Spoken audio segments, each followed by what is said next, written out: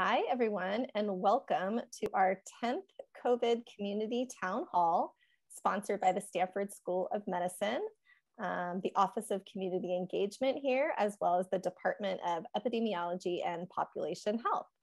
My name is Lisa Goldman Rosas. I'm an assistant professor here in the Department of Epidemiology and Population Health um, and the director of the School of Medicine Office of Community Engagement. And as always, I am so excited uh, for today and to be your moderator. Okay, let's go to the next slide. All right. Como siempre, antes de empezar, bienvenidos a todos que nos están escuchando en español. Qué bueno que nos hayan acompañado el día de hoy. Y como siempre, gracias a Claudia y Esperanza que están haciendo la interpretación de uh, hoy. Uh, si quieren escuchar en español, favor de hacer clic aquí abajo, donde ven, donde dice interpretation. Ok, muy bien. Next. So today is a, um, an important day for many in our community. And before we start, we wanted to take an opportunity to express our condolences to the victims and their families of the tragedy at the Santa Clara County VTA mass shooting yesterday. Um, we also wanted, to, uh, maybe like some of us, if you're looking for ways to support our partners at Working Partnership USA in San Jose are collecting donations to support the victims and their families. And I think one of my team members is gonna uh, drop the link in the chat. So if you wanna make a donation, of course, um, you have the opportunity. And again, um, our thoughts and prayers are with all the victims, their loved ones and, and families and the whole VTA community. Okay, next slide, please. Okay, so for today's town hall, again, this is our 10th one, and it's been a real honor to be with you over these um, last uh, 10 months. We have the good fortune of welcoming back two of our previous panelists, um, and we also have two new panelists joining us that I'll introduce in just a minute. Today, we're going to talk about new hot topics, like always. So, um, things that are emerging for the COVID 19 pandemic. We're, of course, going to talk about um, vaccines. This time, we'll focus more on vaccines for children as those are becoming available. We're going to talk about these confusing new mask um, recommendations, and we'll also talk about vaccine variants. Um, and then most importantly, we want to address any issues you have, um, and you can indicate those to us by putting your questions in the Q&A. Our goal is always to provide evidence and the, the latest scientific information on topics that matter to you. So please go ahead and submit those questions. Y como siempre, si quieren poner eh, preguntas en español, adelante. All right. Um, and then we will also put a survey in the chat. Um, since we've been doing these town halls now for over a year, we would love to hear your thoughts. Uh, so we'll put the link to the survey in the chat or the Q&A as well. Um, and please take some time to let us know what you think about these town halls. Okay, so without further ado, I think it is time to introduce the panelists that we have today. Wonderful. So we have four uh, speakers. We have two here from Stanford and two community partners. So first, you will get the honor of hearing from Dr. Maldonado. Uh, Dr. Maldonado holds many roles here at our university. She's a senior associate dean for faculty development and diversity. Um, she's also a professor of um, pediatric infectious disease. She's also in my department of epidemiology and population health, and we're really proud about that. Um, and she holds many roles in the hospital as well. Uh, we'll also have Dr. Hector Bonilla. He's an associate professor of medicine and infectious disease here at Stanford. And then our two community uh, panelists. First, we have Dr. Neel Patel. Um, he is a pediatrician, uh, the lead of the San Carlos Pediatrics at Sutter Health Palo Alto Medical Foundation. And he also holds several other important roles, such as Commissioner for First Five of San Mateo County and the American Academy of Pediatrics member at large for San Mateo, as well as others. And then we are welcoming back Nancy Magee. She is the San Mateo County Superintendent of Schools. Um, and always happy to answer many of parents' questions um, about schools and, and how we're operating during the, the COVID pandemic. Now, for those of you who have attended our town halls in the past, you know that I ask each speaker to share something personal about themselves. um, so that we can get to know them a little bit better. So for today, the question I'm going to ask each speaker is Gavin, Gavin Newsom announced um, that he has a new program for incentivizing vaccines, and he's going to give $50 grocery uh, gift cards to people 12 and over who get their vaccine. So what I want to know from each panelist is how would you spend your $50 at the grocery store? And I always go first um, so that you have some time to think of how you would spend it. And so, since it's been getting hot, I would spend all my $50 on popsicles because those are some of my favorite things to eat. so, um, Bonnie, I hope you have an idea of how to spend your $50 at the grocery store because you are up next. Oh, absolutely. I without question. Number one, Rocky Road ice cream, and number two, Tin Pot ice cream because they don't have Rocky Road. and number good. three, I'd have to run them uh, twice as much as I do, but it would be worth it. well, we can get together with our popsicles and ice cream. Okay, great. So, uh, Dr. Maldonado, you are up first, and I'll let you share your screen with your slides. Okay, thank you, Lisa, and thank you for inviting me to this town hall. It's always a pleasure and an honor to be here with all of you. Um, I am really proud of Lisa and all the work that she's been doing uh, uh, with the Community Office of Community Engagement and all her other work. She is very humble, but she's done quite a lot of work. And also to the OCE in general for the efforts that they've made and to our community partners for really working with us to uh, make this county um, really um, what it's been so far. That is, we've done such a great job in dealing with this horrible horrible disease. So I'm going to talk about some specific issues. I, am going to talk about uh, the vaccines. Um, and uh, I'm going to spend a lot of time at the beginning. Just I'm going to talk about 10 minutes. So just about 10 minutes. But I want to talk about general pediatric vaccinations that aren't about COVID because that's a big concern. But then at the end, I'm going to talk about masks. And there's a lot of details in there because it is confusing. I just want to lay it out so you can see it and um, we can talk we can talk through the different points just so you can understand uh, what the current guidance looks like. So let me go to the next slide. So just for disclosure, I am the member of a data safety monitoring board for a Pfizer non-COVID vaccine trial. And I'm also the site principal investigator here at Stanford for the Pfizer COVID 19 pediatric vaccine trials for children under 12. So let's talk first about the COVID 19 impact on general pediatric immunizations and well child visits. And I know Dr. Patel knows this better than I because he does a lot of this work, and I'm really excited to hear what he has to say. But I'm also the chair of the Committee on Infectious Diseases for the American Academy of Pediatrics. We published something called the Red Book, and actually, our Red Book just got released yesterday, so we're really excited. And we're proud to say that the Red Book, uh, which is the book that guides pediatricians on infectious diseases and vaccines, was published only about three weeks uh, with a three week delay, despite the fact that we had to do it through the pandemic and a massive paper shortage for unknown reasons. So, um, yeah, so we're very happy about that. And if you know your pediatrician um, well enough, you should ask them to get the new version of the 2021 Red Book because it's ready. So let's just talk about the need for catch-up vaccinations. And these are data that I was allowed to share from the CDC, from the Centers for Disease Control. And we know that many people um, were uh, obviously in lockdown in the last year. And starting on March 17th or 20th, depending on whether you were in the Bay Area or outside of California, um, people just were not going out, and pediatricians and practitioners in general were having a hard time figuring out whether they should be going, uh, having people come into their offices or not. And we saw a huge reduction in regular, healthy, well child visits as well as sick visits uh, for adults and children. But uh, the data have demonstrated that there is between an 11 and 23% reduction still this year overall.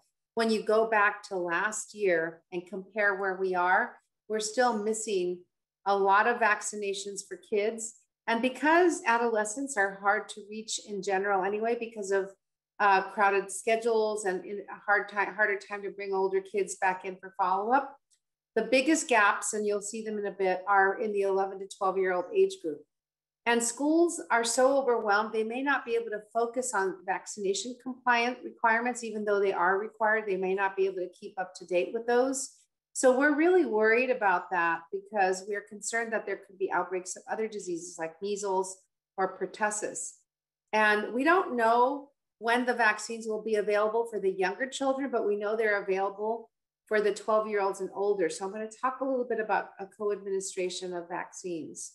So we really, but the message is here we need to have our children caught up to their current vaccines. So pneumococcal vaccine, rotavirus, um, uh, DTaP, uh, measles, mumps, rubella, all of the other vaccines, HPV, they need to be caught up on those too because those diseases are still around and they can still get sick uh, from those other diseases as well. Now, this is a little messy, but it just goes to show you from the last year, you can see that the Vaccines for Children organization, that is the organization at the federal government that provides funding to public health clinics and public serving providers um, for vaccine uh, orders. So they provide the vaccines for free for people who can't afford to pay for them. And you can see that from last year um, in the blue and today, this, this year in the orange, that when you look at the number of vaccines, um, they actually, um, we're still below, the, the orange bars are lower than the blue bars. So we actually are seeing big gaps and we especially saw big gaps back here in March and April. Um, but we're still seeing some gaps in flu in vaccines uh, for children, not COVID vaccines, but the other vaccines for children. This slide shows in the green bar all vaccines except for the flu vaccine in children over time. And the blue bar, the blue line shows measles vaccines. And you can see we're way below where we need to be this year compared to where we were before the pandemic. By as of April 18th, overall, the public clinics are have distributed less uh, 11.3 million less doses than they did a year ago overall in the last year and 1.5 million of those doses are measles vaccines. Now, some people have said, well, in the private clinics, they're doing better, and they are doing better, but they are not back to normal either. So everyone needs to make sure that their children are fully vaccinated. And this is a slide showing the number of missed well visits um, by the age of the child. And you can see that um, mostly when you get up to the 15 month old visit, that most kids are up to date. But when you start to get over 15 months of age, um, and especially when you get over five years of age, there's a lot of missed visits. Over 15% of children have missed visits. Um, and then the gap for some pediatric vaccines is larger than others. We're down about 5 to 10% for rotavirus, Prevnar, and DTaP vaccines. Um, and then for the, for the adolescent vaccines, we're down 15 to 20%. So that's a big problem because that means that those diseases can be spread among children when they get back together for school. Um, we also know that influenza coverage is lower in the yellow bars um, for uh, compare in the blue bars for this year compared to the yellow bars from last year. And on the left, you see uh, immunizations for Black non-Hispanic children. And then in the next one bar, the next grouping is Latinx kids. And then the next is white and other, and other kids. You see that for Black and Hispanic children, we're seeing lower immunization rates overall for flu, um, even this last year and this year. So really need to make sure those kids get vaccinated. And then the number of missed well visits is much higher for Black and Latinx children compared to white children as well. So um, why do we give these vaccines? Well, worldwide, more than a billion people have received vaccines, COVID vaccines, and in the US, almost 300 million doses have been given. That's a lot of vaccines. These are more vaccines than we've given uh, for any disease um, in, in the last uh, several decades. And so um, these are very well studied, very safe and effective. And we know that about 4 million children in the US have received a COVID 19 vaccine. Most of those are over 16, 16 and older. This is just a slide. It's very busy, but um, we'll be posting these, so you'll have these available. these are just the vaccines that are being studied and the different age groups. And what I wanted to point out is that we know that the Pfizer vaccine here has already been approved for 12 year olds and over. Moderna will be submitting their data for 12 year olds and over as well. And the other vaccines, the J&J and others are, are doing trials in teenagers as well. Now for children under 12, those studies are still ongoing. And it's likely that we'll see a vaccine for 12, uh, for, for five to 12 year olds, hopefully by this fall, at least from Pfizer. And for kids under five, probably uh, not till winter or maybe the beginning of 2022. This is data showing that there have been about, through, uh, at this time when this slide came out, about 297 children had died from COVID, but now it's somewhere between three and 600 children. And if you look at the top 10 causes of death in children overall in 2019, that's before COVID, you can see that the number of those top 10 deaths, uh, the number of COVID deaths is equal, is at least as high as the 10th most common cause of death in both of these, in both CDC data and general data from uh, vital statistics. So we know that um, COVID is in the top 10 or 11 most common causes of death in children. Even though the absolute numbers are small compared to adults, they're still very high for children because we don't generally want to see anybody die, but especially children should not be dying at this young age. So it is affecting our children. And we know that the uh, federal government and, and bioethicists have re- ruled that um, they reviewed the data and they do think that enrolling children in COVID vaccine trials is safe and effective.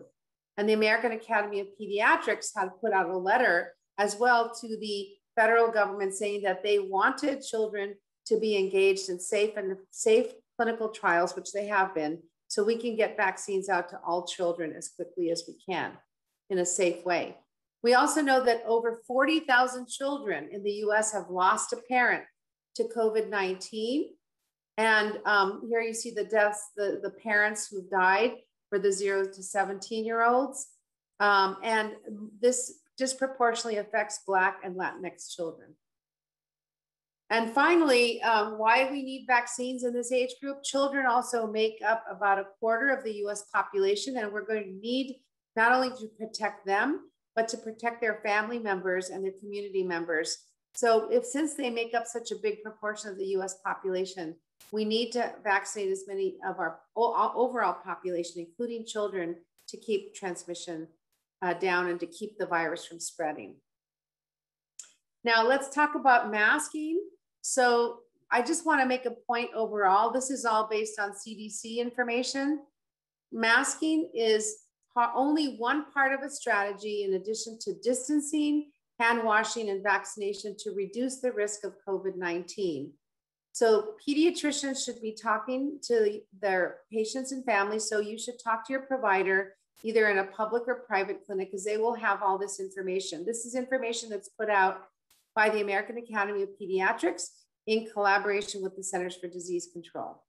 So, wear, wear your mask. Um, uh, but CDC also says wear your mask in certain conditions, but the CDC now says that masks and distancing are not needed anymore if you're fully vaccinated in certain conditions, uh, especially outdoors and when there aren't big crowds.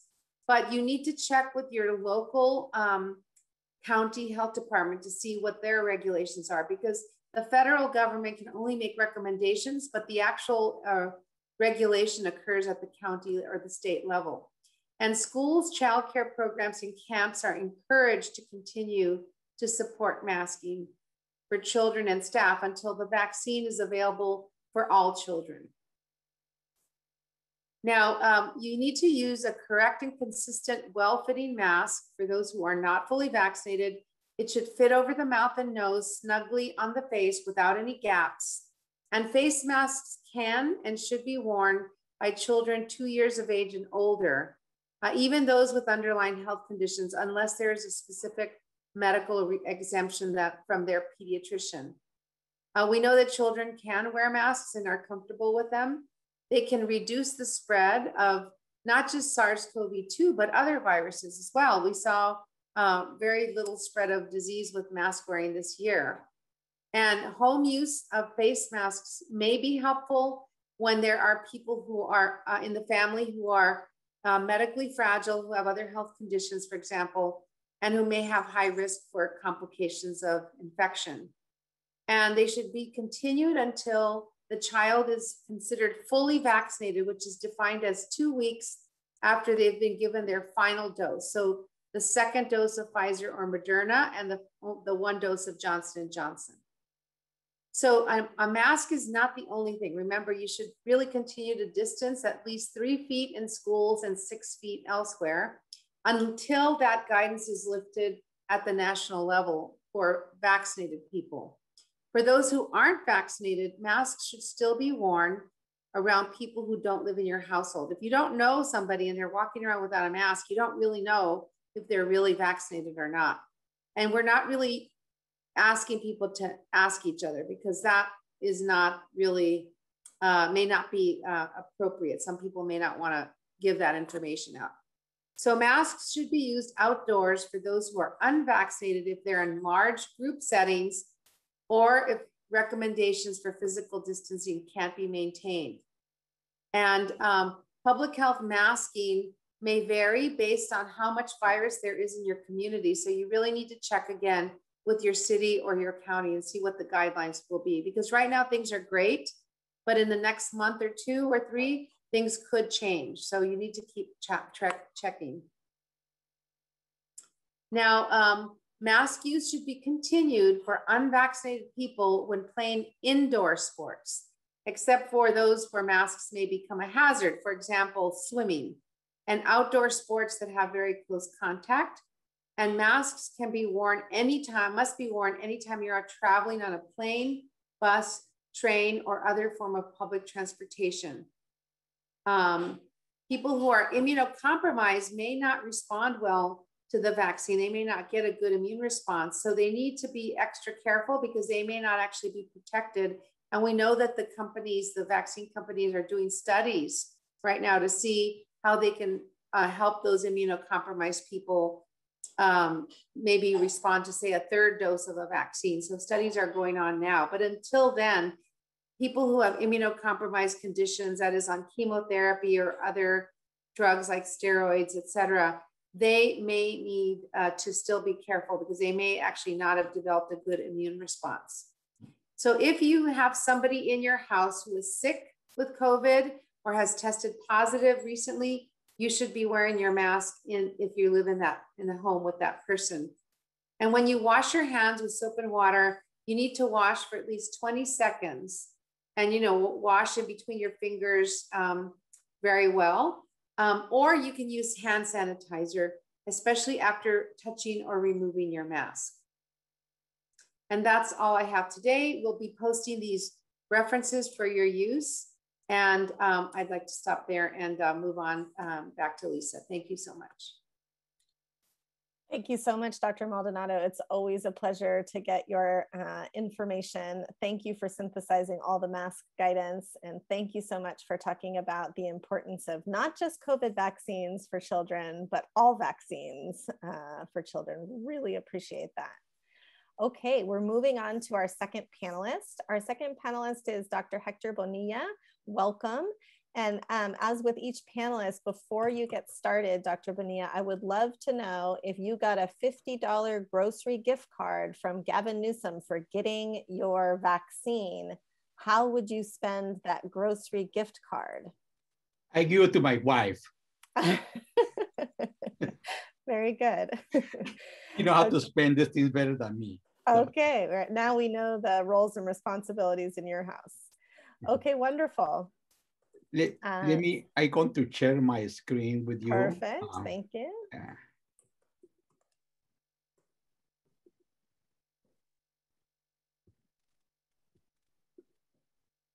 Okay, so I, I going to talk to variants um, uh, uh, to be like a kind of, to the levels of the people they can understand.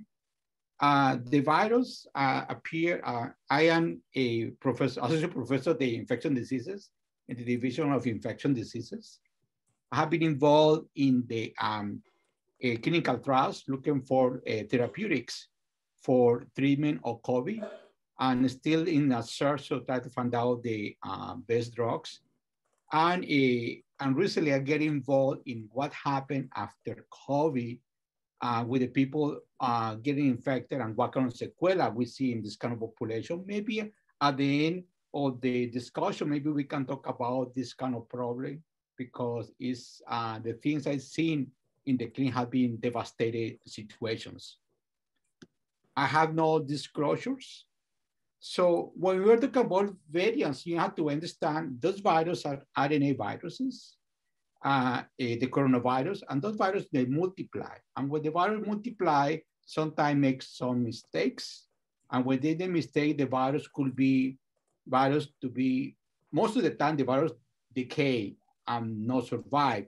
Other virus maintain, but other virus, they are stronger and can emerge. And there are some strains they can be predominant in different populations. And this happened because the virus multiply. So one of the problem is humans. Humans are the appropriate reservoir where the virus multiply and the changes can happen in the humans or in the nature. And from there, this can all be adapted to different kind of humans, like a possible have been proposed this virus uh, appearing in animals. And for the animals some mutations and possible do some changes that then adapt into the humans. And, and this way cause infections. And the infections could be spreading according to what kind of mutation they have. So when the virus change, so people start tracking and see what changes the virus make. Because remember, the virus are like a, a like a change. Every single piece represent one component of the virus. And those kind of pieces of the chains can change. And when those changes happen, could be emergency a new particular type or strain of the virus. And those kind of strains of the virus have been classified. For example, in the beginning in Wuhan, when, the, when we had the initial cases, those strains rapidly, they changed for a, a new strains they called 6140. And this strain what they want to disseminate for Europe in, in Italy, and then for whole Europe, and then around the world, this strain appeared. Subsequently, this strain was replaced by a new strain that emerged in UK. They call the B117. We call the UK strain for the people they know. Uh, this strain uh, have been shown is uh, different than the other one, the transmission is going to be higher and found out this kind of strain multiply uh, higher rates in the epithelium of the airway, in the upper and lower airway, and possible been associated with a highest mortality. Uh, this strain started in, U in, in UK, then spread to whole Europe and came with a second wave. And then the strain later on came to the East Coast, and from the East Coast is like a, we have in the United States. Subsequently, another strains appear in, in South Africa, and this strain have been completely different, have been found out these more infections and possible associated with highest mortality. And because the virus mutate and change, so new strains appear in different kind of countries. In Brazil, have been uh, found out two strains they call the P1 and P2. Uh, eh, and they found out in, the, in Brazil, they have a two outbreaks. The first initial outbreak possibly was related with a 6140. And subsequently, a new strain appeared, the P1 and P2. And uh, they are the first cases of possible uh, reinfection have been reported with a new strain of the virus. And subsequently here in uh, in California, so we started seeing our own strain. Uh, they call the B1427. Then this mutation they call 452. And these mutations have been associated possibly with more infectivity uh, compared with the other strains.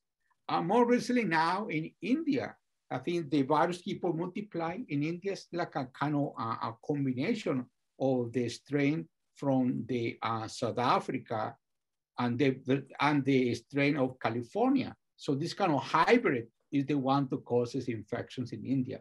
We don't know too much information about is associated with highest mortality or, trans, or transmission.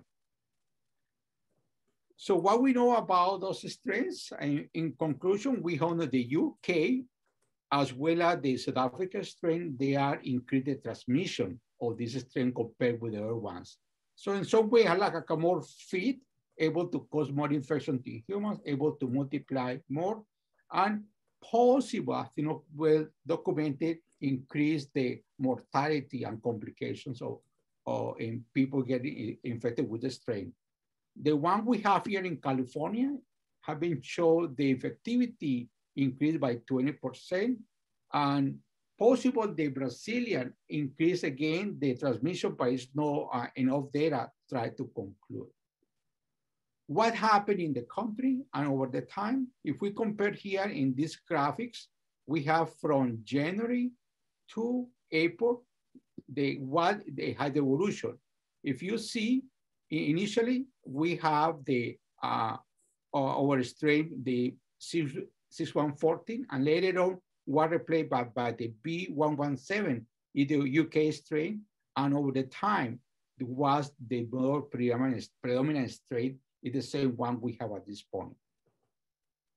If we look at the map in the country, try to look for in different regions of the country, we see in this one, the one, B117, the UK strain, is still the predominant in the whole regions along the country. Um, a follow for uh, strains from a, a, the B133 and the P1 from Brazil. Uh, from few cases have been reported already with strains from India and United States, but still they are not the predominant strains at this moment. So what happened here in Stanford? In Stanford, we have been collecting over 5,000 uh, samples and have this, uh, the adults have been, the whole genome was sequencing and they have been screened for different kind of mutations. If they are positive, they're going to uh, uh, set up a what lineage we have uh, here in the Bay Area. And we see uh, the UK is the more predominant strain uh, follow at the lower rates from the uh, South Africa, Brazilians, and, and the California strain is still one of the more predominant strains here in the area. So um, here is what happened here in our strains here. We have here in orange is our California strain. Like in February was the more predominant strain, but over the time we see start declining, have been uh, replaced for the, the uh, UK strain, like a was lower and over the time, the green have been increased. And recently we see the number of cases have been declined. And here in the same way we can put in here, uh, we have in initially California, the California strain, the uh, L452, L 452R strain that predominant over the time have been declining. And now we see one increase in the uh, UK. But overall, we see the whole tendency in California as well as the whole country in decline the numbers of um, infections as well as decreased hospitalizations and mortality, thanks for the people uh, vaccination programs. I think I have my 10 minutes already. Good. Any questions? Thank so you so much, about... Dr. Bonilla. We're going to have, uh, there are lots of questions for you and we're okay. going to let each panelist go and then I'm going to um, send the, I'll, I'll, ask the questions for you to answer after, but thank you okay. so much. So let me make a few, maybe few words oh, about, sure. about the post-COVID. So sure. we started interested since the beginning and what happened after the people recovered from the acute infection even be people being in the hospital or people with a mild disease. We see around maybe eh, 30% of the population has some symptoms that persist even months after the initial infections. And the complications could be from a respiratory complications like a pulmonary fibrosis, and few people they need a lung transplant, or a brain complication that include from stroke and a brain fog or problems with the cognitions in this kind of populations, then limit them to have the normal functions, or in some patients we see uh, a, a, a infection that damage the heart, that lead into a cardiac dysfunction, and the people present with a chest pain, irregular heartbeat, and, and possible lead to heart failures. So it's, it's very important to, uh, we have a follow-up from this population after the infection. And look at the severity of the disease doesn't mean you're going to have symptoms or not.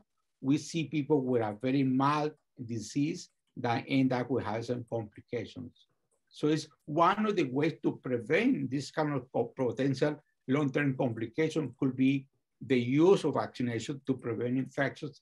And the other way is try to uh, find drugs able to treat the acute infection, try to prevent the de development of sequelas of this illness. Thank you. Thank you so much, Dr. Bonilla. And there definitely are lots of questions for you. So we will get to them um, as soon as we can. And thank you to all the attendees who are submitting such great questions. We are noting them and, and getting ready to ask the panelists. Okay, uh, let's turn it over to Dr. Patel. Um, and Dr. Patel, don't forget to share with us how you're going to spend your $50 um, grocery coup, uh, uh, gift card. And Dr. Bonilla, if you can stop sharing, I think um, Dr. Patel can share. Or let me see if I can get my slides up. Um, share screen. Give me just a sec.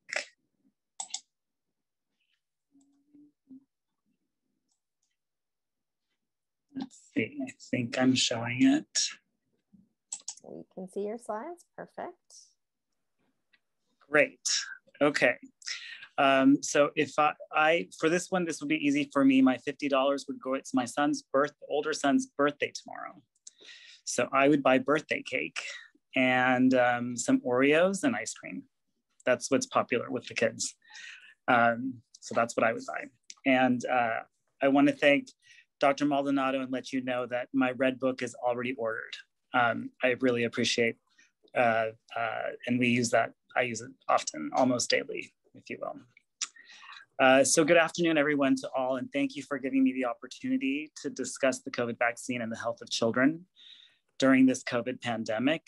Thank you for having me to the OCE office.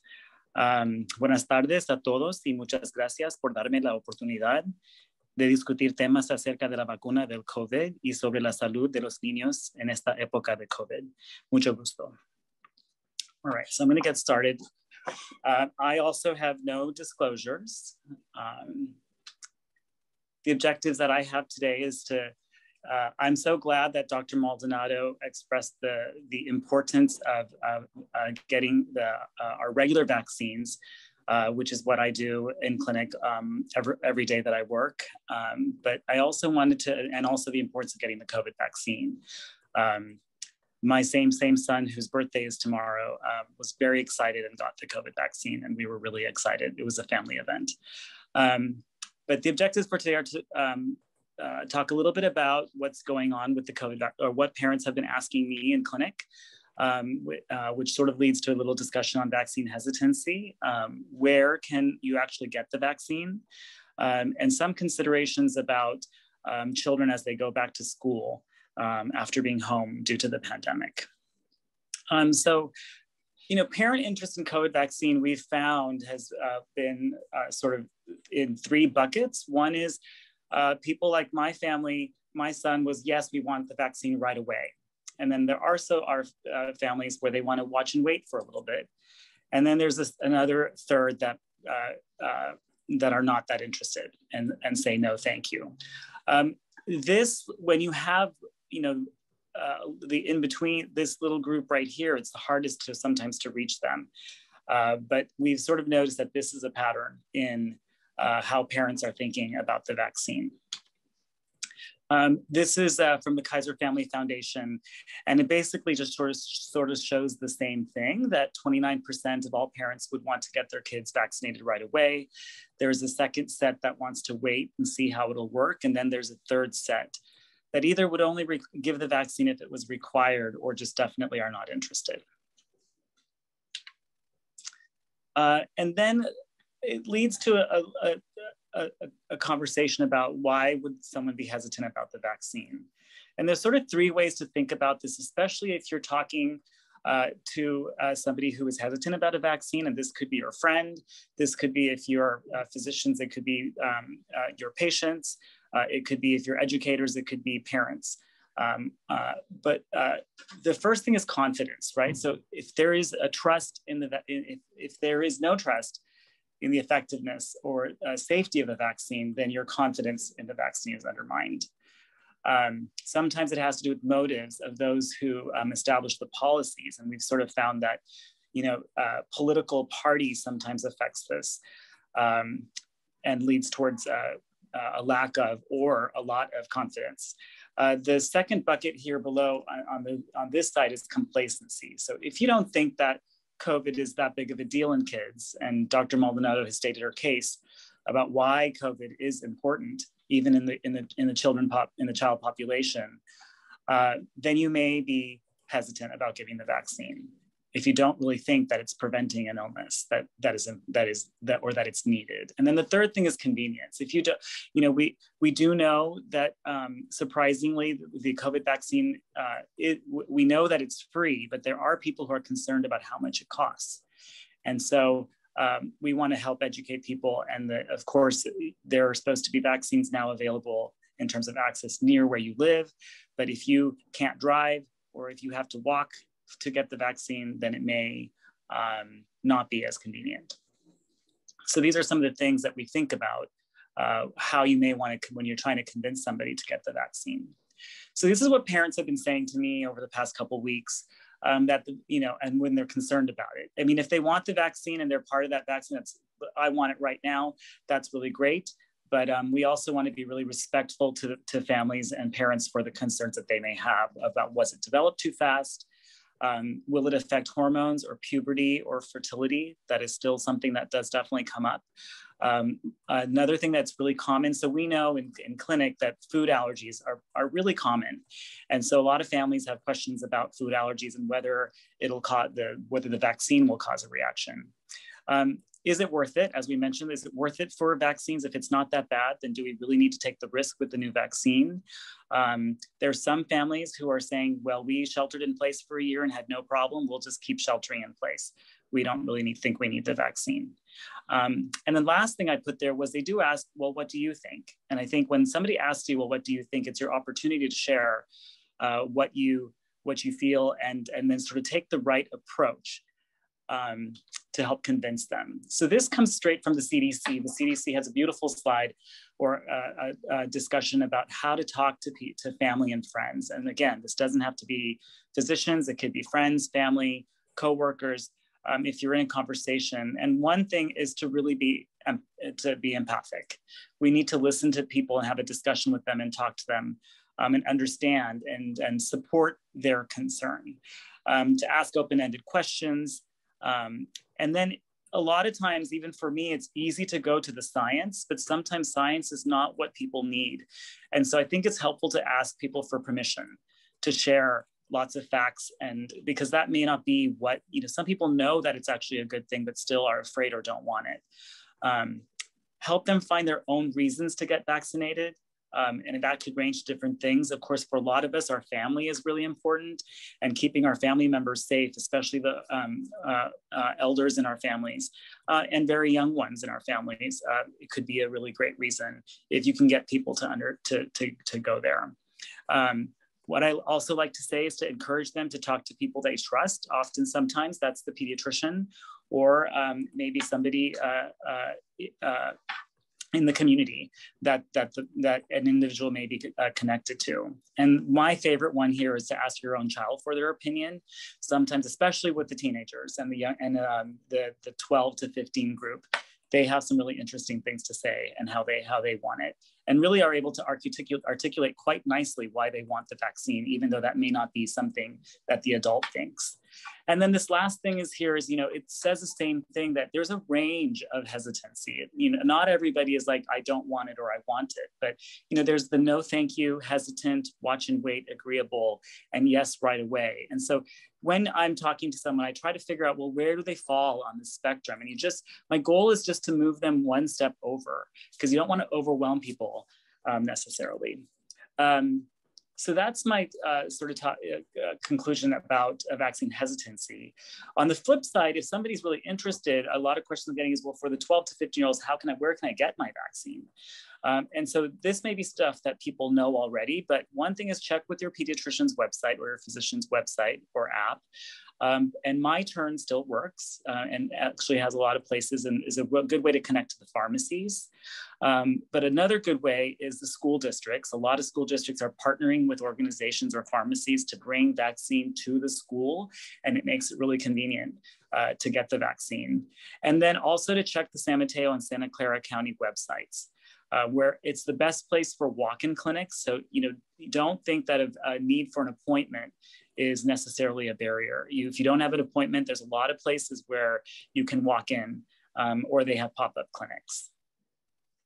Uh, I want to transition, and, and, this is my final uh, uh portion, is to really talk, talk to about talk to uh, everyone about how we can support our kids as they go back to school um, and transition in person. Uh, so, you know, in the preschool age, uh, preschoolers are really joyful and, na- and naturally open to new things.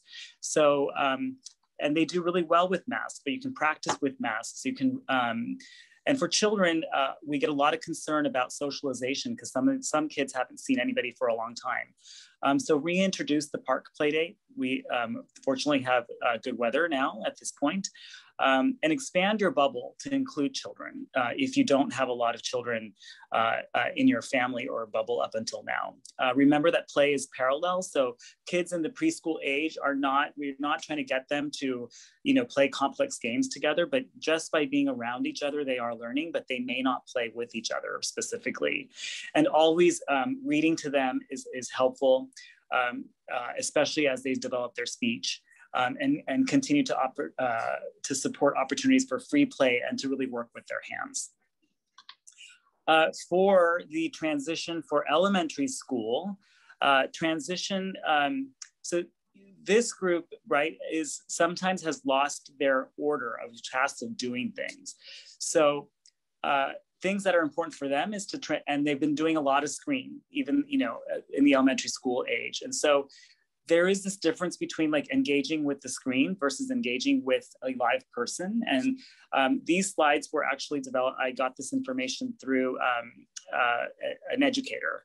And so we want to help convert those blank stares against a screen to actually interactive with, with people. Um, students, they need to rebuild their stamina. So these, you know, kids are used to going to get some, a break, um, maybe do their screen, their, their distance learning lying down. Um, so they need stamina uh, to, and routine in order to uh, attend school. They need those routines of order about how to get out of the house, brushing their teeth, getting dressed, um, eating breakfast, um, and maybe even start to sit at a desk, especially if they have not gone, if they're still home and not, and not in hybrid, about how to sort of sit still for a, a some amount of time, which means that communicating house rules. Um, reintroduce social interactions um, with friends and family, uh, and also have them practice wearing masks um, and acknowledge that there is already an element of social anxiety with return to school. So, you know, some of these kids, it may be that they are worried or um, uh, have anxiety as well about going to school and to really help talk them through it. Um, the last thing is middle and high school. So, you know, the thing I think about middle school and high school is that they're really eager to go back. They have want to do a lot. Um, they often tend to want to be social, but there's also this other side of many students who maybe were social have become more introverted due to extra screen time, gaming, and uh, and binge watching of shows. Um, they're usually energetic, but they may not have the energy, and they may need to introduce some stamina or re, re um, redevelop their stamina as well. So introducing social interactions with peers in relaxed and structured settings. So sometimes it might be really, you know, teenagers may just want to hang out, but they also need to spend time actually doing structured activity. Um, and maybe it would be great over the summer to, inter to reincorporate that. Um, there's a di and differentiate between screen related pastime and the activities that bring them joy. You know, what comes to mind is my son would do PE in front of the screen, but it's different when you do PE with uh, lot, uh, with other students. Um, and of course, encourage reading. Um, my, I think this is close to my last slide. So I want to talk a little bit about reprogramming our children. I, I, think, you know, the American Academy of Pediatrics used to recommend no more than two hours. Many people who go to their doctor's visits are probably familiar with that. But, you know, the, the screen time has increased to six to 10 hours. Um, when you include the non-academic time, people are doing all kinds of activities on the screen as well sometimes.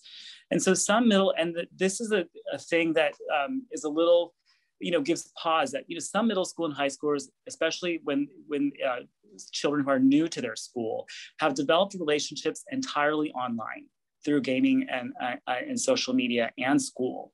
So it's you can't ask those those people those those kids to just forget about that. Um, uh, and not much is known about how relationships you know will uh, go forward um, online and this could lead to an element of social anxiety. Ways to help this for a family sort of practically is survey the number of hours that you know really that your child um, is actually on and then try to decrease it by small increments. And you can't go from six hours to two hours just like that um, if needed, use timers and work collaboratively with your child. Um, the AAP, American Academy of Pediatrics, on a site called healthychildren.org, um, has a family media plan, which really works for especially the middle school aged or uh, elementary and middle school age children. And decipher online relationships um, and encourage in-person relationships to offset because um, kids may want to hold on to some of their online relationships and even though that's not ideal perhaps for some of for parents um, we want to basically we want to make sure that they um, don't feel cut off. Um, so survey social media as it's a special plug for social media like Instagram and that and th that kind of stuff because they may be on a screen a lot more along with their school. Um, there have been reports about you know vision uh, right not being able to see or or dry eyes because of um, screens. So if you have a concern, please do get your vision checked. And then a little bit of a check on, and I think to even myself, like audit your own adult use in the pandemic and how much you know it's it's a it's it's a different conversation if you, we are still at home working from home and constantly on the screen then it also frames the way we speak to our children. So last thing is that welcome uh, your children's questions. Uh, be develop uh, you know approach the question uh, in a developmentally appropriate way depending on how old they are um, don't avoid questions that you can't answer. You can you can try to find the answers together, or it's also okay to say that you don't know, and that you're just going to do the best you can um, uh, uh, as you have as you deal with difficult questions, especially about the pandemic and variants and things that that children may bring up. Um, set the tone of positivity and be reassuring. The more you do that, uh, the more that it'll empower them to then go forward uh, as they get back into the real world um, and take cues from your child about how they're doing it so that if they are anxious, um, you can help them. There is this um, element of dealing with our own anxiety. So if we are anxious, then it, it's, I don't think it's that you have to deal with your our adult anxiety and then deal with the child's anxiety. You can work on it together. Um, focus and one of the ways to do that is to focus on what has been successful so far. If you've been sheltering at home and sort of avoiding covid um, or you know people or you yourself had covid before and, and you were doing uh, better uh, or recovered from it those are positive things. Um, when we sit and uh, think about some of the uh, silver linings of, of the pandemic this could be sort of the stepping stone to talking about things that are more difficult. And so my final thing is is to keep talking Thank you. Dr. Patel, that was incredibly useful. I have to say, as someone with a child transition to middle school, that was wonderful. And I also took a few tips for myself in transitioning back to the office. So that was that was wonderful. All right, uh, let's see. Our next panelist is Superintendent uh, Nancy Magee. Uh, we're really excited. Let me stop. Oh yeah, thank you. We're really excited to hear from you. And of course, we want to hear what you're going to spend your $50 grocery gift card on um, while we let you pull up your, your um, slides. And while you're doing that, I'll just thank Dr. Maldonado for all your um, wonderful questions, your wonderful answer answers to the questions that you posted. And for panelists, you can take a look at the questions that have been answered and, and learn a lot from those as well. All right, thank you so much. Go ahead. And, oh, you had them and now they went away. There we go. go. Is that right? That's right. We got it. Um, so all $50, all every penny would go on fancy smelly cheese as much as I can purchase. And it wouldn't be very much because it's so expensive. Very um, good. There we go. Okay, so I think my slides are showing, yes? We can see them perfectly. Okay, great. So um, I'm going to take a little bit of a different approach uh, since I am uh, an educator, not from the medical community, but just kind of talk us through what the environment has been on school campuses, um, what we've been through, all that schools have navigated, and um, really encourage folks to understand that even um, prior to the vaccination, we've had students back in person learning and doing very, very well in person. Because in San Mateo County, we have a, uh, been observing, and I think this is true for most counties, observing sort of what we call the four pillars uh, of safe, um, safe schools uh, in COVID. Uh, lots and lots of um, energy and attention to hand washing and health and hygiene certainly wearing face coverings, observing physical distance, um, sorry, and, um, and limiting our gatherings. And um, we have had very, very little transfer of COVID in the school environments, very highly controlled. Um, everybody's got eyes on. And um, now, with most of the adults and the older kids vaccinated, these school environments um, um, should feel fairly stable and safe for families. So having said that, you know, what we want to focus on is making sure that everybody is getting exactly what they need when they need it. So all of our efforts to have students um, learning in school, learning in a hybrid model, and learning from home has been an effort to meet everybody where they are.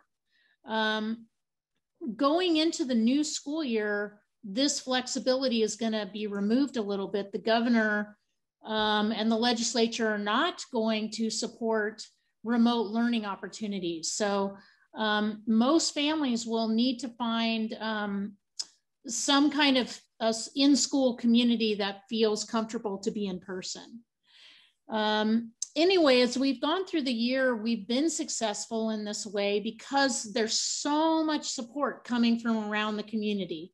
We've had philanthropic funding um, for devices, and um, we've done more public Wi-Fi in San Mateo County to close that digital equity gap. Um, we've established with Boys and Girls Clubs and other community-based organizations, these learning hubs. There's lots and lots of money coming from the governor and the new budget to continue this out of school learning time and learning hubs. Um, and uh, we've um, tried to support our childcare and early learning community. Um, all these safeguards apply to them as well. So these are all the different ways in which we've partnered together to get to this bottom line of a safe return to in-person learning. Um, certainly 2020 and 21 have been presented additional challenges to schools, not just COVID. But um, we've had fire season, smoke days, um, racial injustice, uh, power shutoffs. So all kinds of things to, um, to manage. Um, and communities and parents may wonder, you know, why aren't schools opening? But they're managing uh, so much on the social, political, and local levels. So in August, um, the governor uh, created the roadmap to open society. This is where the colored tiers came in. It provided a lot more guidance and um, understanding for the public and how to operate. And then in January, they set up a statewide website called Safe Schools for All Hub. I really encourage everyone to find this website. There's so much information there. The California Department of Public Health has all of its updated guidance for schools. It, it also lays out the, um, all the data for which schools are in person, how many students are attending in distance learning or in person, and lots and lots of resources for parents, students, and for school communities. So um, on the vaccination front in San Mateo County, we focus first on our education workforce. We worked really closely with um, our uh, county health department and through the County Office of Education and our 23 local districts, we were able to get 11,000 members of our education workforce vaccinated within about three weeks was pretty phenomenal.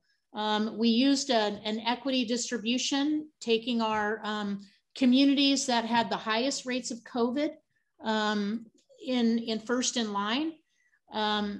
And you know, once the once this education workforce largely received their um, their vaccinations, you started to see schools really start to open up a lot more interest and investment in trying to get back in person. So our educators, our teachers and our principals and our paraeducators are really feeling a lot more comfortable now that they're fully vaccinated. So next we focus on um, our students, um, the 12 to 17 year olds. Uh, we're working very hard on uh, encouraging them all to get vaccinated in San Mateo County. This is our current data for how many, as of uh, earlier in the week, how many um, individuals have been vaccinated in San Mateo County. If you count the 12 and older population, we're at 79.6%. But for the 12 to 15 year olds, we're about 35% of our 12 to 15 year olds have received their, their vaccinations, at least one shot. So we have a, a quite a ways to go, but they, have it's only been open to them, I think, for two weeks. So um, we're working hard. Um, ah, one more forward. Um, so one thing we've been, um, um, you know, wondering about at the county level is uh, the the public health officer um, is considering issuing a public health order authorizing youth ages 12 and up to consent to the COVID 19 vaccine on their own. It's called minor consent. This exists in other um, health conditions, especially around sexual health. And um, there is a sense that some kids may have trouble, you know, because their parents are busy or not understanding the, the systems or working multiple jobs kids may have trouble accessing that consent from their parents. So there's a thought that um, having minor consent for this vaccine may help more kids get vaccinated. Um, we're using, certainly pushing Dr. Patel, the, you know, go to your, you know, your pediatrician first if you can, get your health checkup, you know, check in with your pediatrician, have them assure you what is necessary when you get your vaccination. Um, but we're also doing, there's lots of mobile clinics in San Mateo County. We're no longer doing the mass vaccination clinics because the numbers just aren't there anymore. Um, so we are partnering um, to do school-based events. And with schools, we're doing them. One of our big high school districts is um, hosting events and they're um, including all of their feeder districts. Um, so for the middle school kids, they're giving away free high school swag. So you can get a high school t-shirt of this, the, the, the school you're gonna be going to, to help motivate kids to get excited and get on board with um, the vaccinations because the more kids are vaccinated, um, the more of our population, young population that's vaccinated, obviously, the more stable our school environments become. Because if not all the 12 year olds are vaccinated, there still can be cases of COVID in those classrooms and um, still may interrupt education in the fall. So San Mateo County on its uh, county health on its website has a full schedule of all the different clinics that are available. So there's plenty of opportunities. It's just a matter of getting the word out and getting people there and, and having um, folks feel comfortable overcoming any hesitancy they might have. Um, so in the meantime, schools are also very busy supporting mental health and well-being. So a lot of, um, you know, we've been through tough times. Everyone's been through trauma and dysregulation and routines have been thrown off. So there's a lot of work going on in that area in our schools, working to achieve digital equity, still distributing school meals, providing childcare for staff um, because they're coming to work and their children's schools aren't fully in in um, in session. Uh, still navigating grades, graduation, um, and all the regular school business, getting our young people vaccinated. Um, sorry, our my button's very touchy. Um, and then mapping out what's ahead, uh, the school year ahead, which, by the way, everyone probably is wondering about. Um, one thing that's coming out of the governor's office is a little bit of extra money for the county offices of education and public health to continue to invest in our partnerships. Uh, these uh, relationships we built over the last year and a half have been amazing, really great practice for um, school leaders. I love our collaboration with our pediatricians led by Dr. Patel. I hope to continue that as we go forward. Um, and there's so there's different ways we're thinking about using these funds um, to keep those partnerships going. And then looking ahead, as I said, schools are not going to have the flexibility to provide remote learning for families who are not yet comfortable coming to school in person the requirement for public schools is going to be in-person learning. Um, there are a few side um, uh, small programs that may allow families to learn from home, but it's going to be very difficult for schools to support that. Um, so we are still planning on um, having all of our protocols in place. We know that we may have COVID cases in schools. And so we know how to do the um, contact tracing, what the quarantines are, you know, how to do the quarantines, um, educating our families about travel, where they travel to, and when they come back to school. Masking will be really, really a big deal for um, schools coming into the fall. And then just remaining resilient. We're, I think most of this is behind us. The tough, tough, tough stuff is, but we still will have some challenges ahead. And so, with all that we've learned, uh, there's so much learning that we've gained that I really think we can apply it forward into better systems for everybody, both in the way we serve our patients in healthcare and the way we serve students in education. So um, hopefully that provided a little bit of glimpse into the future. It's a little bit of a crystal ball still. That was really helpful, Nancy, and thank you so much for reminding us of the hard work that um, all of the schools, the school districts, the teachers, and, and all the staff, as well as the children, have done um, over this past year uh, to learn. And, you know, many of us are parents on here and have really seen the children thrive and are so, so appreciative. Okay, so uh, the questions have just been wonderful. Um, and I want to send um, a couple of questions to you, Dr. Maldonado. You've answered some of them already, but what I've sensed from the Q&A is there's still lots of questions about masks, which is totally understandable because it's hard to know. So um, I want to point out a few that I was wondering if you could talk a little bit more about. So um, we had a parent of a young infant um, asking about, uh, you know, obviously the infant can't wear a mask and and mm. hasn't been vaccinated and hasn't yet been around um, a lot of people. So I was wondering if you could talk about both from how to wear a mask as well as developmentally. And then there were a few other questions I saw you answered um, around. I, I, did answer that question, but I'll, I'll go over it. I sure. thought maybe just talking about it a sure. little more would help. And then some questions about mixed status households with vaccinated and unvaccinated and, and things like that would be really helpful. Yeah, sure. So um, so obviously, uh, children under 12 uh, cannot be vaccinated at this time. And likely we won't have vaccines for children under 12 till at least the, the fall.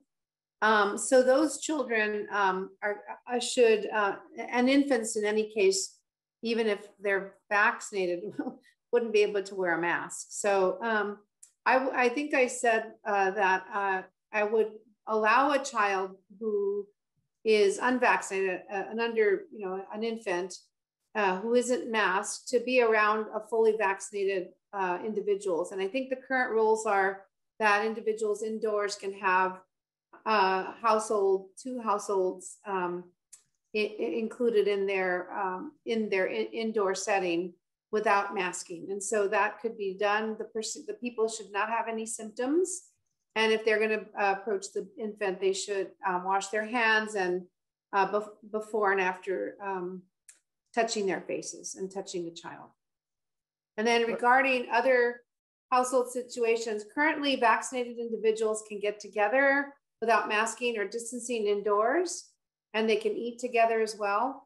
Um, and, and you can have a fully vaccinated group get together with one unvaccinated household, um, provided that household doesn't have a high risk individual, meaning somebody who, if they got infected, could um, have high risk for hospitalization. Great, thank you so much. I saw there was one other mask related question that might be worthwhile. Summer is coming up, although we know kids are incredibly good at wearing masks. Um, you know, can they uh, play outside, um, you know, at camp and on play dates without masks? Yeah, I, am going to have to defer that to the different counties because there will be different rules. I know that, for example, uh, Governor Newsom has said that June, on June 15th, we will go, will be completely open. And I hope that that's the case, um, but we'll wait to have to see what Dr. Cody from Santa Clara County says and what other county health officers determine. Now, it is likely that fully vaccinated individuals will not have to wear masks. Now, again, 12 year olds and older uh, as well, but it's possible that for some situations, uh, there may need to be some masks. I, I just, I, don't, I really, I won't be able to know until the the the final guidelines come out. The crystal ball is not clear yet. Yeah. Um, I think the message is we all have to pay attention to our our local yeah. guidelines. Absolutely. But I think in general, though, let me just give you some general thoughts, even though this is not the official thought, is that if you're outdoors and you're playing sports outdoors and you're not, you know, very close contact, um, I mean, I'm thinking, you know, outdoor games uh, like baseball, for example. I don't know about soccer. Depends on how what the rules are for the soccer game. But anyway, things like that. Um, definitely not basketball or football though. But if you played those games outside, and even if you weren't vaccinated, I think in general, if you were outdoors, that could be reasonable. Uh, it's like it may be likely that there could be allowances for that. I think for swimming, obviously, you don't wear masks. Um, I guess the question is really things like indoor sports, like indoor basketball, indoor um, other indoor sports, uh, what to do there. And uh, we'll just have to see what the guidance is. Great, thank you so much. So um, Dr. Bonilla, we have uh, several questions around variants and vaccine efficacy that I thought um, would be great if you could attend to. So one um, around um, the variants, there was a question, uh, let me see if I can find it. Um, if the tests are testing for all variants, or could you test negative um, for COVID and perhaps have a different variant? In order to uh, find out the variant, you need to have the virus. So you need to virus, isolate the virus, and then try to sequence it. Try to see the different compounds of the virus, different kind of pieces of the chains to, and to identify the virus. If you have no virus, we can be able to sequence them. So it's, we need to have a virus to sequence it. If we sequence the virus, we can identify according to the changes what kind of variants we have. That's great. So the tests that are currently available test for all variants essentially. The test that we are doing, for example, I am testing COVID positive. So positive, so those strains depends on the area, the state, or the hospital or Stanford, they go and sequence for looking for mutations. And then when they see the pattern of mutation, they come to cut the variants, is the UK variants, or is the California variants, or the Brazilian ones, or South Africa ones, depends on what kind of changes they find in the sequence of the virus. Thank you. And then could you answer some of the questions about um, the effectiveness of the vaccine over time? So how will people need to get booster shots? Um, is there a quote unquote expiration date of the vaccine? Um, can you answer some of those questions? Me, me or, or Bonnie? It's up, to, it's up to you. I was sending it to you. oh, okay, so go. Okay, so the Eh, remember the, the virus can change over the time. So when the virus changes, maybe they could be resistant to different kind of variants. So time is going to tell. So, but we have now the technology that we can modify the vaccines because mRNA vaccine, we can modify the sequences and adjust to those kind of changes.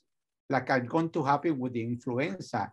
Every year, we're going to have a different strains of the influenza. So we study the strain from the prior year, try to make the vaccine.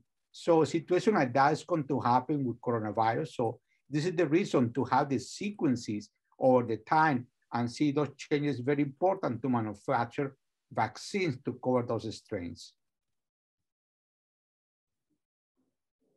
Thank you so much. Uh, a question for you, Dr. Patel, that was submitted um, prior uh, was around breastfeeding and possible um, uh, uh immunity for a breastfed infant if the parent is vaccinated. Yeah, so uh, it, it, always starts with the fact that breastfeeding is is important. We encourage breastfeeding, uh, and a vaccine is the COVID that you you are. It is we think safe to breastfeed with the COVID vaccine. And actually, what I tell families families is that um, the antibodies have been found in breast milk, um, and so we think that that is helpful. Uh, we don't know necessarily that that that you know we don't know how much immunity that gives to the child, uh, or if it's enough if it's an, enough to prevent illness. But just generally speaking, breastfeeding is a really great thing, and um, if you have um, uh, already gotten the vaccine or if you want to get it, we encourage you to do so.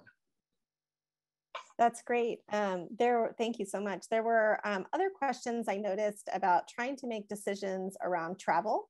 So an example question was, we want to take a, a take out take our family on a small group vacation to Alaska. Everyone will be masked, mostly outdoors. We have all had vaccinations, and we'll test before we go but the granddaughter is 11, so can't get vaccinated. Can you take her? That's just an example. There's other questions about travel, how, how to manage that this summer. Do you want to take that, Dr. Patel?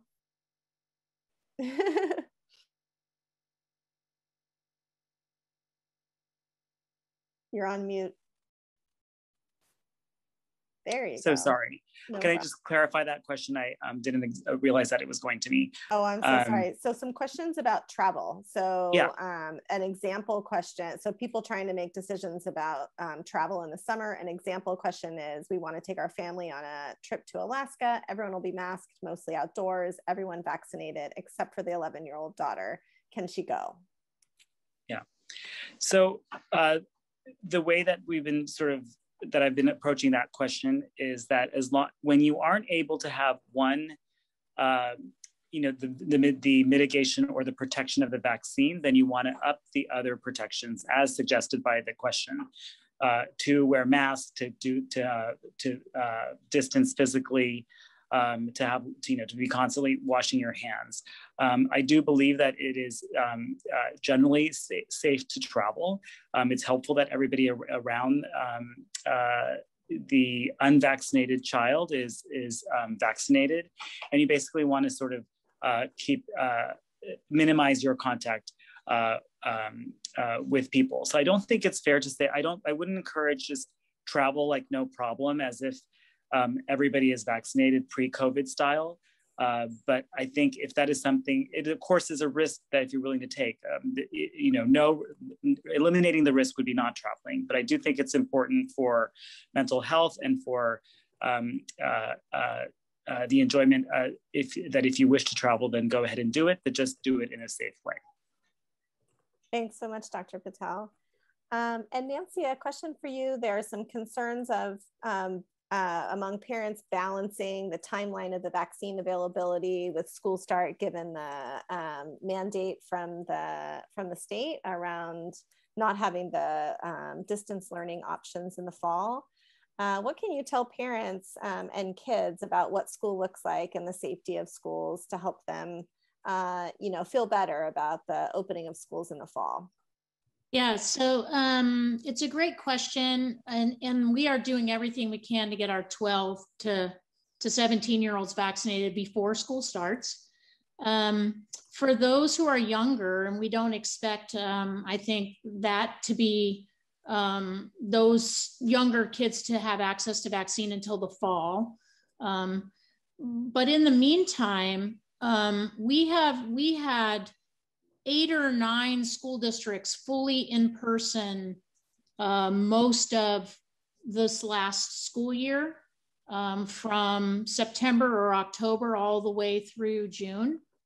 Um, op, um, practicing physical distancing, wearing masks, hand washing.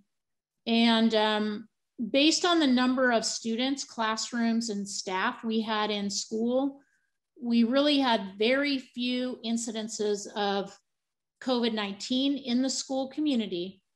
And when we did, it was identified quickly and, and early and did not result in transmission.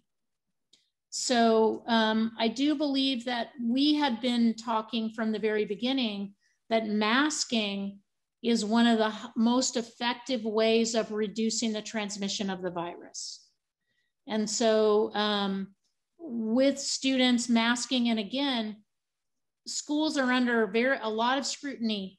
So there's a lot of eyes on to make sure that everybody's following the rules. And we have we have very clear guidelines in San Mateo County.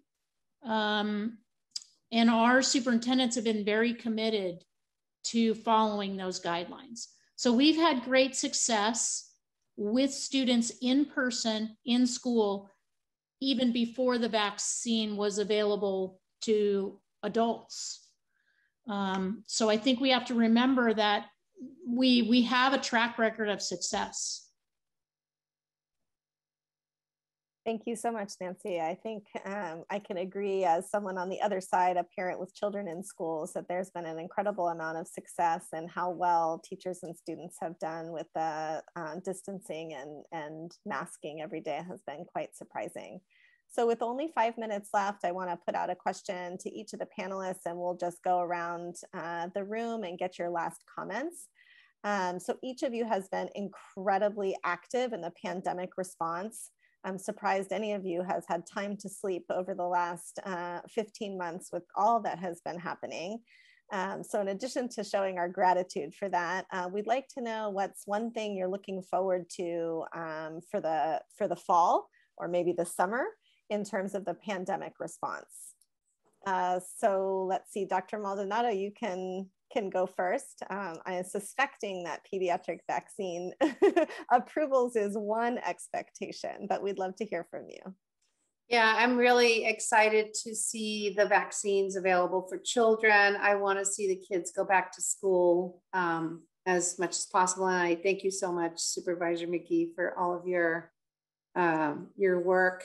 Um, it is uh, heroic and I know it's not easy. So, uh, but I think the vaccines are going to help a lot. I mean, I truly agree that you can do it without the vaccine, but certainly the vaccines make it so much easier. So I am really grateful. Um, I just, I don't have it here on my desk, but I just picked up a book called Extra, Extra Life. It's reviewed in the New York Times. It's written by a Harvard psychologist named Steven Johnson. And it's about the fact that since 1920, so 100 years ago, we've doubled our life expectancy. And we've doubled it with things like simple things that we don't really like to think about, like toilets, sewers, chlorination, pasteurization, vaccines, antibiotics. And um, the, we're not talking about the big, glitzy, shiny things. We're talking about the basic hard work that all of you here are doing. Um, and so these are the things that have doubled our lifespans. So we need to keep doing them. And I'm super excited that we're going to get to keep doing them for our children. Wonderful. Thank you so much, Dr. Maldonado. Uh, Dr. Bonilla, you're next. What are you hopeful for? Yes, I, I hopeful for um, get therapeutics, try to uh, people getting infected to treat them. I'm, I'm very worried about the long-term complications of this virus that have been like overlooked. And so we need to do everything in our hands, try to get them vaccinated as a preventive measurements of infections. And hopefully everybody come to the senses and work together as a single country to fight this problem. Thank you so much. Wonderful. Okay, Dr. Patel, uh, your hopes. Yeah, my hopes for the fall. So I, I would have to say, um, with my two boys, is uh, I'm really excited about them going back to school. I'm also excited to.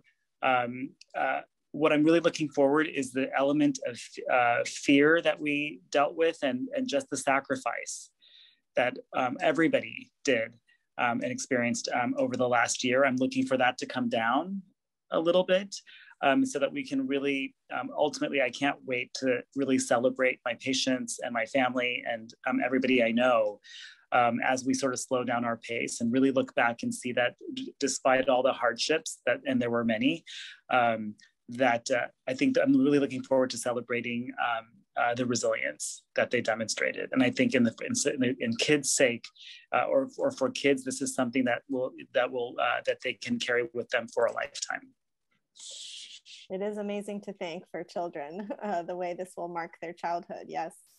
Okay, Superintendent uh, Magee, can you share your hopes for the fall?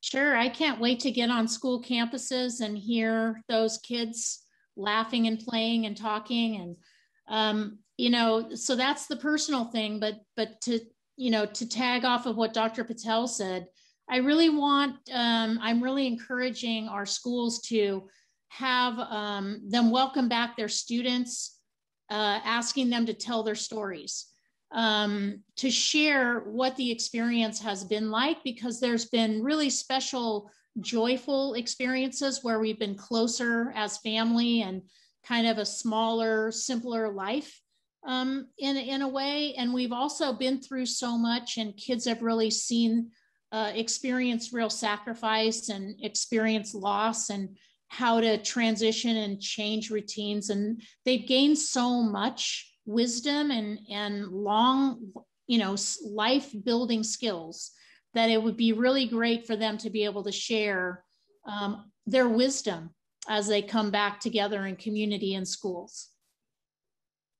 It's wonderful and a wonderful note to end on. I hope we all get an opportunity to do that and how wonderful for the children to be able to do that in the fall, hopefully with much of this in their rear view mirror.